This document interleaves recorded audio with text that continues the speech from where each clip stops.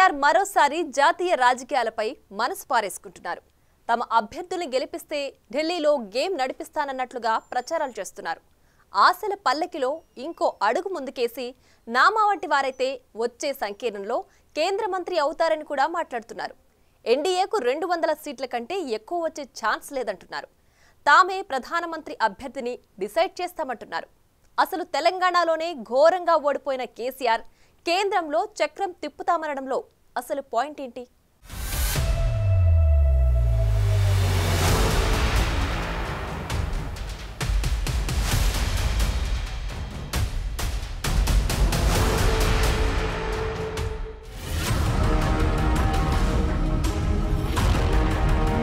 ఢిల్లీలో చక్రం తిప్పుతానంటోన్న కేసీఆర్.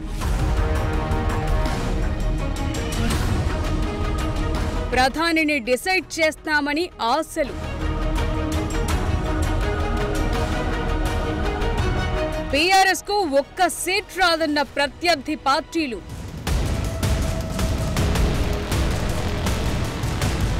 అంగ్పైనే గులాబీ బాస్ ఆశలు.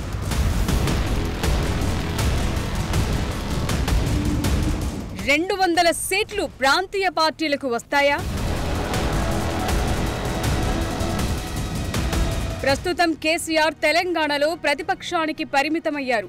రాష్ట్రంలో పెద్దగా చేయటానికి కూడా ఏమీ లేదు. మరో ఐదేళ్ళ దాకా ఖాళీయే. ఇచ్చిన హామీలను వరుసగా కాంగ్రెస్ నెరవేర్చుకుంటూ వస్తోంది. సో పోరాటాలకు పెద్దగా స్కోప్ లేకుండా పోయింది. అందుకే గులాబీ బాస్ ఫోకస్ అంతా ఢిల్లీ రాజకీయాలపై పడింది. కనీసం అక్కడైనా చక్రం తిప్పాలన్న ఆశలతో ఉన్నట్లు కనిపిస్తోంది. కేసీఆర్ వరుస ప్రచారాలు ఇంటర్వ్యూల్లో ఇదే విషయాన్ని ప్రస్తావిస్తూ వస్తున్నారు.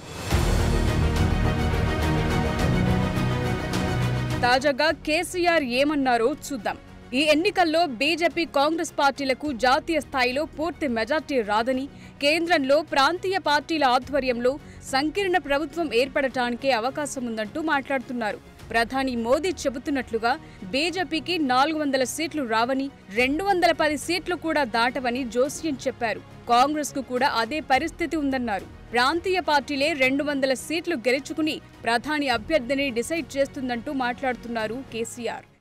Since Modi lost the confidence of the nation suddenly they are not going to cross two hundred seats that's where I'm telling you regional parties are to play major role hundred percent it going to happen every day the news what we are receiving says that Modi is not going to get full majority. That is the reason वो कुर्ता कामीज पढ़ रहे हर दिन जो क्योंकि maybe it looks like unbelievable to you but politics is a dynamics నిజానికి కేసీఆర్ తెలంగాణలోనే పార్టీని విజయం వైపు నడిపించలేకపోయారు ఇప్పుడు ఇంత జరిగాక ఢిల్లీపై ఆశలు పెట్టుకుంటున్నారు ప్రాంతీయ పార్టీలదే హవా అంటున్నారు కథ నడిపిస్తానంటున్నారు తెలంగాణలో మెజార్టీ సీట్లు ఇవ్వాలంటున్నారు. ప్రజలు ఈ విషయాన్ని అర్థం చేసుకోవాలి అంటున్నారు. పద్నాలుగు సీట్లు గెలిపిస్తే ప్రజలకు అండగా ఉంటామంటున్నారు. మమతా బెనర్జీ సహా చాలా మంది నేతలు కూటముల నుంచి బయటకొస్తున్నారన్నారు. అంతేకాదు ఎన్నికలు ముగిశాక ఇండియా ఎన్డీఏ కూటములు తమ ప్రాంతీయ పార్టీల దగ్గరికే రావాలని వారికి వేరే ఆప్షన్లు లేవంటూ మాట్లాడుతున్నారు. అయితే కేసీఆర్ చేసిన ఈ కామెంట్లపై ప్రత్యర్థి పార్టీలైతే తీవ్ర స్థాయిలో ఫైర్ అవుతున్నారు అసలు బీఆర్ఎస్ కు ఒక్క ఎంపీ సీట్ కూడా వచ్చే ఛాన్స్ లేదని కౌంటర్లేస్తున్నారు 200 पार करना ही मुश्किल हो गया 400 कहां से मिलेंगे साउथ इंडिया में से उसको हार्डली गनीमत से पांच दस सीट नहीं मिलने वाला है 130 में सफाया है उनका they will not get a single seat in Kerala Tamil Nadu Andhra Telangana and Karnataka में भी बारह गप्पे मार रहे थे लेकिन चार पांच सीट पे आ गया BJP just four five. Scene cut చేస్తే తెలంగాణ అసెంబ్లీ ఎన్నికల్లో కేసీఆర్ పార్టీ ఘోర పరాజయం పాలైంది. ఏదో అనుకుని పార్టీ పేరును తెలంగాణ రాష్ట్ర సమితి నుంచి భారత రాష్ట్ర సమితిగా మార్చేశారు. ఢిల్లీ మహారాష్ట్ర సహా పలు చోట్ల పార్టీ ఆఫీసులను హడావిడిగా ప్రారంభించేశారు. అంతేకాదు ప్రాంతీయ పార్టీల నేతల దగ్గరకు వెళ్ళి కలిసొచ్చారు. ఏదో చేద్దామనుకున్నారు మధ్యలో ఫెడరల్ ఫ్రంట్ అన్నారు. సీన్ కట్ చేస్తే ఏకాకయ్యారు. అటు ఇండియా కూటమి దగ్గరకు రానివ్వటం లేదు. ఇటు ఎన్డీఏ కూటమి కూడా దూరంగా పెడుతోంది. నిజానికి ఒక దశలో ఎన్డీఏకు అనుకూలంగా వారితో కలిసి ఏర్పాట్లను కేసీఆర్ చేసుకున్నారంటారు. కానీ ప్రధాని మోదీ తాను దగ్గరకు రానివ్వలేనని గతంలో నిజామాబాద్ సభలో బహిరంగంగానే చెప్పేశారు. అందుకే ఇప్పుడు కేసీఆర్ రూట్ మార్చి కేంద్రంలో ప్రాంతీయ పార్టీలదే హవా అంటూ ప్రచారాలు చేస్తున్నారు. నిజానికి చాలా ప్రాంతీయ పార్టీలు అటు ఎన్డీఏ ఇటు ఇండియా కూటమిలో భాగస్వాములుగానే ఉన్నాయి. ఒక్క బీఆర్ఎస్ సహా ఒకటి అర పార్టీలు తప్ప మిగతావన్నీ ఏదో ఒక కూటమిలో ఉన్నాయి. అలాంటిది ప్రాంతీయ పార్టీలు ప్రధాని అభ్యర్థిని డిసైడ్ చేస్తాయని కేసీఆర్ చెప్పటం పెద్ద జోక్ అంటున్నాయి ప్రత్యర్థి పార్టీలు. దేశంలో గుణాత్మక మార్పు తీసుకొస్తా. సముద్రం పాలవుతోన్న నదీ జలాలను అందరికీ అందేలా చేస్తా. ఢిల్లీలో చక్రం తిప్పుతా. ఇలాంటి డైలాగులను గతంలో చాలా పేల్చారు మాజీ సీఎం కేసీఆర్. సీన్ కట్ చేస్తే ఏకంగా తెలంగాణలోనే అధికారం కోల్పోయారు. గెలుచుంటే దేశమంతా ఇప్పటికే అగ్గిరాజేసేవాడిని అంటూ ఇటీవలే తుంటి ఆపరేషన్ తరువాత మాట్లాడారు. ఇప్పుడు ఏకంగా కేంద్రంలో ఏ పార్టీకి మెజార్టీ రాదని పదిహేను సీట్లలో గెలిపిస్తే తానే కింగ్ మేకర్ అంటూ ప్రచారాలు చేస్తున్నారు.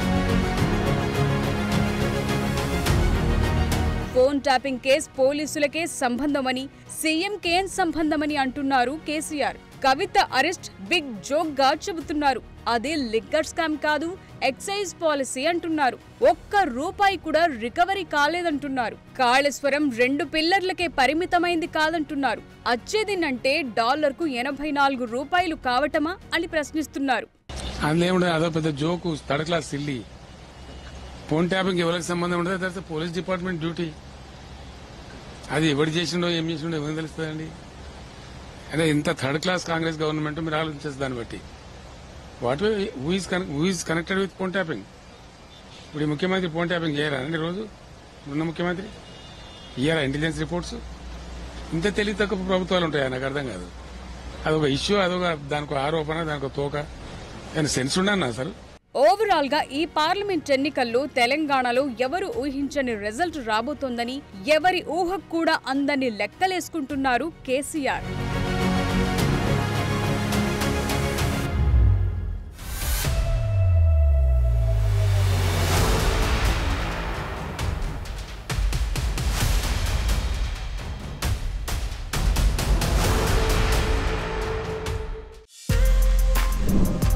For more videos like this, subscribe Big TV channel